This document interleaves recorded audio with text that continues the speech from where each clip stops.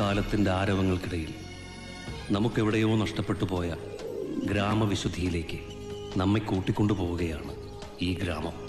ഹരിതാഭയാർ നിലച്ചാർത്തുകൾ വെള്ളിക്കൊലസിട്ട് കുണുങ്ങിയൊഴുകുന്ന പുഴകൾ കൊയ്ത്തൊഴിഞ്ഞ വയലുകൾ പ്രകൃതിയും മനുഷ്യനും ഒന്നായി ചേരുന്ന കവിഭാവനയിലെ ഗ്രാമസൗന്ദര്യം. അതാണ് ഊഞ്ഞാലാടി എന്ന ഈ ഗ്രാമം. നീ അറിഞ്ഞു ഊഞ്ഞല്ലടിയിൽ രണ്ടും മൂന്ന് സ്വന്തം കാലിൽ നിൽക്കാൻ പ്രാപ്തിയുള്ള പച്ചയായ മനുഷ്യൻ. ഇതുപോലെ താളം തെറ്റിക്കിടക്കുകയാണ് ഈ ഗ്രാമത്തിന്റെ അവസ്ഥയും മേൽക്കൂരയില്ലാത്ത ഗ്രന്ഥശാല ജനലുകളും വാതിലുകളും ഇല്ലാത്ത സ്കൂളുകളും സർക്കാർ സ്ഥാപനങ്ങളും. ഈ വീടുകൾ കണ്ടില്ലേ? പണിതീരാത്ത വീടുകൾ. ഗ്രാമത്തിന്റെ ഈ ശോചനീയമായ അവസ്ഥയ്ക്ക് കാരണം ഗോപാലൻ എന്ന കള്ളനാണ്. ഇതെല്ലാം അവന്റെ ചെയ്തികളാണ്. മോഷണത്തിൽ അവന് പ്രിയം കട്ടിളകളാണ്. അതുകൊണ്ട് നാട്ടുകാർ അവനെ കട്ടിള ഗോപാലൻ എന്ന് വിളിക്കുന്നു. കൊതുമ്പോലെ ഇരിക്കണ നിനക്ക് ഇത്രയും വെയിറ്റ് ആണ്? ഇങ്ങനെ പോയ രണ്ടു ദിവസം പിടിക്കും. എന്റെ പൊന്ന് ദിവാകരേട്ട ഒന്ന് ചവിട്ടി വിട്. അടങ്ങിയിരുന്നോണം. ഇല്ലെങ്കിൽ നിന്നെ ഞാൻ ചവിട്ടി താഴെ ഇടും. ഇവിടെ. ഒത്തിരി പരാതിക്കാരുണ്ട് നമ്മൾ താമസിക്കാൻ തോന്നുന്നു. മാറിക്ക്, മാറിക്ക്. ആൾക്കാരൊക്കെ ആദ്യം എത്തി. ഒന്ന് മാറി ഒന്ന് മാറി. Sorry sir. അല്ല ഞാൻ അല്ല ഇതാരും ഒന്ന് നിർത്തോ. നിർത്തി. ഇതൊരു പോലീസ് സ്റ്റേഷനാണ്. അല്ല നിയമസഭയല്ല. നൂറ് പരാതി ഒരുമിച്ച് പറഞ്ഞാൽ കേൾക്കാൻ. എനിക്ക് ഈ രണ്ട് ചെവി മാത്രമേ ഉള്ളൂ. നിങ്ങൾ പറയുന്ന കള്ളനായി ഈ കട്ടള ഗോപാലിനെ ഞങ്ങളോ നിങ്ങളോ കണ്ടിട്ടില്ല. അറസ്റ്റ് ചെയ്യാനായിട്ടേ അവന്റെ ഒരു രേഖാചിത്രമോ ഫോട്ടോയോ പോലും ഇല്ല. ആകെയുള്ള തെളിവ് എന്ന് പറയാൻ മോഷണ സ്ഥലത്ത് അവൻ എഴുതി വെച്ചിട്ട് പോകുന്ന ഒരു തുണ്ട് കടലാസ് കഷ്ണം മാത്രമാ. അയ്യോ പാവം പോലീസ്. നീ വന്നോ. എനിക്കിഷ്ടപ്പെട്ടു ഞാൻ കൊണ്ടുപോകുന്നു. ഗോപാലൻ. നല്ലത് ഞാനിത് എടുത്തോട്ടെ ഗോപാലൻ. പശു മോഷണം പോയ സ്ഥലത്ത് നിന്ന് കിട്ടിയ തുണ്ട. നന്ദിനിയെ ഞാൻ വിളിച്ചു അവൾ വന്നു. ഞങ്ങളെ അന്വേഷിക്കരുത് ഗോപാലൻ. അവൻ അങ്ങനെ എഴുതി വെച്ച് പോയാൽ നിങ്ങൾ അന്വേഷിക്കില്ലേ? ഹ, അന്വേഷിച്ചല്ലോ. അവനെ അന്വേഷിച്ചു പോയപ്പോഴാണ് കോടതിയിൽ ഹാജരാക്കാൻ വെച്ചിരുന്ന തൊണ്ടി മുതൽ പതിനഞ്ച് ലിറ്റർ സ്പിരിറ്റ് അവൻ ഇവിടുന്ന് മോഷ്ടിച്ചോണ്ട് പോയത്. സ്പിരിറ്റ് മാത്രമല്ല ഇവിടുത്തെ പോലീസ് ജീപ്പിന്റെ ടയർ വരെ അവൻ ഊരിക്കൊണ്ടുപോയി. അത്യാവശ്യത്തിന് ആർക്കോ കൊടുക്കാനെന്ന് പറഞ്ഞൊരു കുറിപ്പ് എഴുതി വെച്ചിട്ട് വണ്ടി ഇപ്പൊ കട്ടപ്പുറത്താ. കണ്ടോ? ഹാൻഡിക്യാപ്ഡ് കിടക്കുന്നു. കിടക്കുന്നത് ആ കംപ്ലൈന്റ് ഞങ്ങൾ ആരോട് പറയും? ഇതൊക്കെ നിങ്ങൾ ഗവൺമെന്റുമായി ബന്ധപ്പെട്ട കാര്യങ്ങളാ. പക്ഷെ ഞാൻ പറയാൻ പോകുന്നത് ബുദ്ധിമുട്ടി ഉണ്ടാക്കുന്ന എന്റെ വീടിന്റെ പ്രശ്നമാ. എന്റെ വീടിന്റെ പണിക്കുള്ള നല്ല ഒന്നാം തരം തേക്കിന്റെ കട്ടളയെ അവൻ കൊണ്ടുപോയത്. ഇത് മൂന്നാമത്തെ പ്രാവശ്യമാ. ഞാൻ കെട്ടള വെക്കും അവൻ കൊണ്ടുപോകും. ഞാൻ വെക്കും അവൻ കൊണ്ടുപോകും. ഞാൻ വെക്കും അവൻ കൊണ്ടുപോകും. എന്നാ പിന്നെ തനിക്ക് വെക്കാതിരുന്നൂടെ എന്ന് പറയാം നിങ്ങൾക്കത് പറയാം. എന്റെ ഭാര്യ രവികുമാരി ഗൾഫിൽ കിടന്ന് കഷ്ടപ്പെട്ടുണ്ടാക്കുന്ന കാശ് അറിയാവോ? ഗൾഫിൽ കിടന്നോ? അല്ല ചേച്ചി ബുദ്ധിമുട്ടിയ കാശുണ്ടാക്കുന്ന സത്യം കഷ്ടപ്പെട്ട അധ്വാനിച്ച്. അതെ. ഒന്ന് ഞാൻ പറഞ്ഞേക്കാം. രണ്ടും മൂന്നും ഞാൻ പറയാം അല്ലേ? ഇനി പോലീസ് ഗോപാലിനെ പിടിക്കാതെ ഞാൻ എന്റെ വീട്ടിന്റെ കട്ടള വെക്കുന്ന പ്രശ്നമില്ല. അയ്യോ.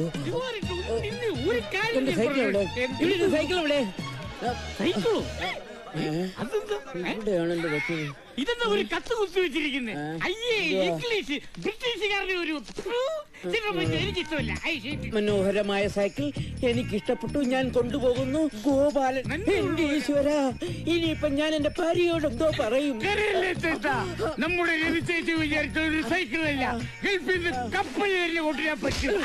ഇക്കണക്കിന് മൂത്രം ഒഴിക്കാൻ തുണി മാറ്റി നോക്കുമ്പോഴേ ഞാൻ ഇത് മുറിച്ച് വിറ്റു എന്ന കുറിപ്പ് കാണുമെന്നാ എന്റെ പേടി. അല്ല പ്രസിഡന്റ് ഇവൻ എങ്ങനെ വിട്ടാ പറ്റൂല? പിന്നെ കള്ളനെ കണ്ട കൂന്നൊരു ഒരു കോഴിയുണ്ട് അതിനെ കൊണ്ടുവന്നാലോ. കിഴക്കേതിലെ സരസമ്മയുടെ കോഴിയായിരിക്കും. ഒരു പട്ടാളക്കാരൻ എന്ന നിലയ്ക്ക് എനിക്ക് ചിലതൊക്കെ പറയാനുണ്ട്. ഞാനിവിടെ ലീവിന് വന്നപ്പോഴാണ് കാര്യങ്ങൾ അറിയുന്നത്. ഈ അക്രമം അനുവദിക്കരുത്. ഈ കട്ടിള ഗോപാലൻ എന്നൊക്കെ പറയുന്നവനെ ഓടിച്ചിട്ട് പിടിച്ച് കെട്ടിയിട്ട് വെടിവെച്ച് കൊല്ലണം. സുഗുണൻ പറഞ്ഞതിനും കാര്യമുണ്ട്. പോലീസ് നിഷ്ക്രിയനായ ഈ അവസ്ഥയിൽ ഇവിടെ പട്ടാളം തന്നെ ഇറങ്ങണം. സുഗുണൻ ഉടനെ കമ്പി അടിച്ച് നാളെ തന്നെ പട്ടാളത്തോട് വരാൻ പറയും.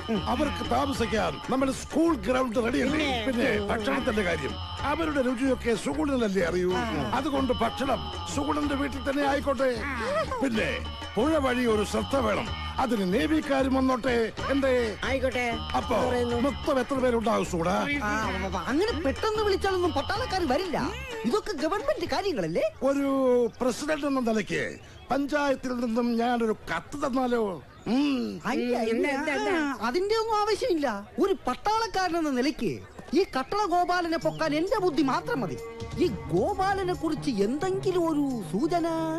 അവൻ കക്കും കുറിപ്പ് വെക്കും. അത്രേ ഉള്ളൂ. ഞങ്ങൾ ഒരു ദിവസം ഉറക്കൊളിച്ചാണ് നമ്മുടെ വടക്കേലത്തെ ശ്രീധരനും വള്ളക്കാരൻ രാമനും നേരത്തെ കണ്ടിട്ടുണ്ട് അത്രേ ബൈക്കിൽ ഒരു ഹെൽമെറ്റും വെച്ച് മിന്നൽ പോലെ. മതി.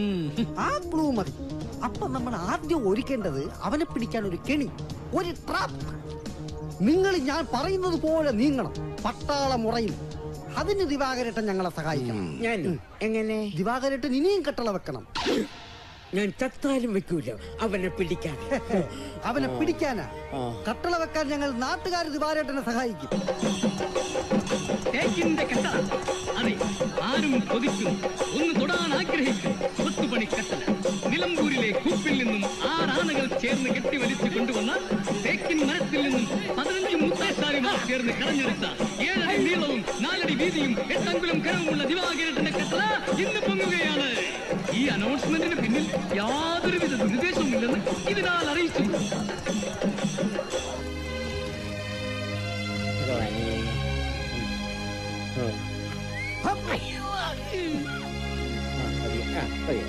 ഈശ്വര ഈ കിണിയിലെങ്കിലും ആ ഗോപാലൻ വീണേ. വീണേ. കെണിയിൽ അവൻ വീണേ. വീണ് വീണ്. അങ്ങനെ അവസാനം അവൻ വീണ്.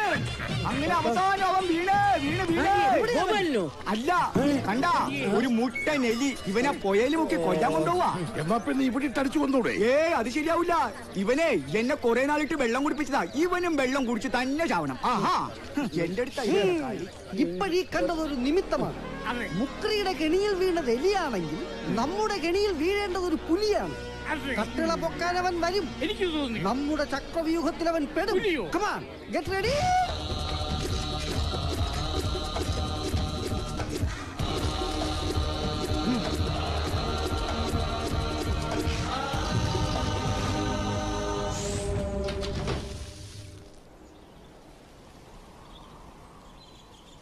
പട്ടാളക്കാരനോടാ കളി. ലക്ഷ്യത്തിലേക്കുള്ള എന്റെ പ്രയാണം എത്ര ദുഷ്കരമാണ്. ഗോപാലന്റെ കരച്ചിലാണോ? ആയിരിക്കാനാണ് സാധ്യത. പേടിക്കണ്ട. പട്ടാളക്കാരന്റെ അതിബുദ്ധി. എന്ത്? പുല്ലിൽ പൊതിഞ്ഞ് കിടന്നു പശു വന്ന് കുട്ടിക്ക് അടിച്ചു